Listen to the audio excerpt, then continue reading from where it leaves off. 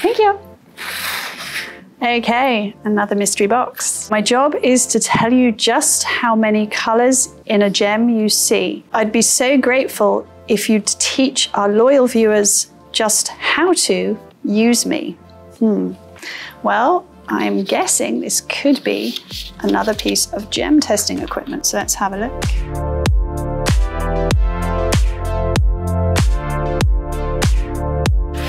Excellent. So this is a London dichroscope. You just open it up here. And its construction is very simple. It's made up of two polarizing filters, pieces of polarizing filter, one here, one there. And these are both set at 90 degrees to each other. And we use this to test for a gem's pleochroism. Now, pleochroism um, means many colors. So pleo is many, chroism, colors. So let's take a look at how that works. Okay, so um, we've got our London dichroscope. Now, one of the most important things we need are testing gemstones, and I have three here. We also need a light source.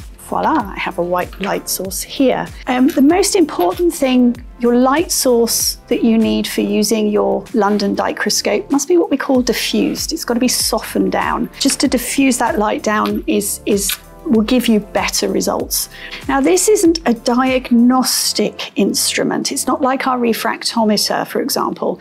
This is an indicator um, tool, but it, it, can work really well um, with, with various different gemstones. So the gems that we test using a dichroscope, they must be have some degree of transparency to them.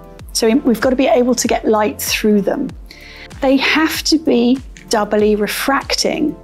And that means the light goes in, bends, splits. This test will not work or be applicable for singly refracting gems. That's things like your spinel, your fluorite, your garnet, for example. And also, our gem has to have color.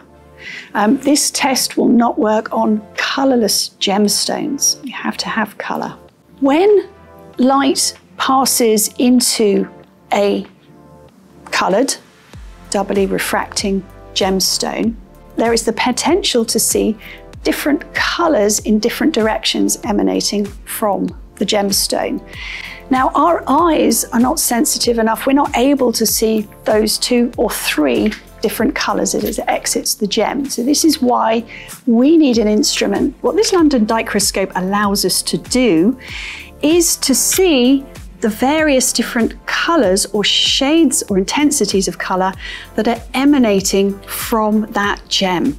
So I have some gems here to test. This is a tourmaline. It's a tricolor tourmaline. So we've actually it looks like a four color tourmaline. So I think we've got green, blue and pink in there if, if I'm seeing right. And what I would do is just take the um, dichroscope and gently draw it across the gem. And as I do so, what I'm seeing is the tourmaline will turn from lighter colors to slightly darker colors. So this gem is dichroic. If I take another gem, this time we've got a tanzanite crystal, and do the same. Gently wave the dichroscope over the crystal. I'm seeing two colors. I'm seeing a yellowish green and a, and a, and a bluish purple. But like any element of gem testing, it's important that we turn the stone in, in all different directions. So I'm just going to pick him up turn him slightly, and bam, I'm now seeing not only a blue coloration, but also like a, a purplish coloration too. So within that crystal on rotation, I'm seeing three individual colors. So this gem is trichroic. It's showing three individual colors. There are other types of, of um, dichroscope, such as the calcite dichroscope that I have here. It does exactly the same job. It allows us to see the different colors emanating from our doubly refracting colored gemstones, but its construction is slightly different. So inside this tube, you have a piece of optical grade calcite.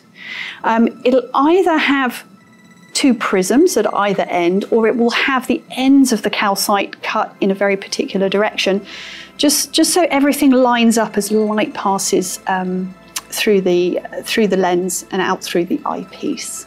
So all we would do is, is have a, a light source, and then you would hold the, get the right end, up to the eye. I'm seeing two individual squares, and as I rotate the crystal, I'm seeing two different colours within those squares. So it does the same, the same job as our London Dichroscope, it's just it's a bit more hands-on.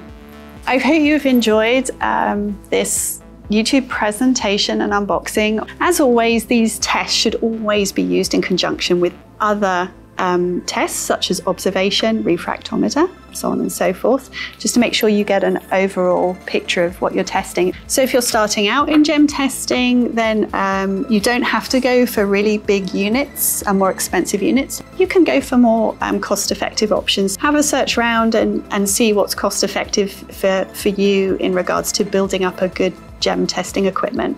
But I would say the most essential of all, if you're just starting out from absolute scratch, um, a loupe, 10 times loupe, stone cloth, stone cloth and stone tongs and a good light source is absolutely essential. That's your basic foundations and then build up your range of testing equipment from there.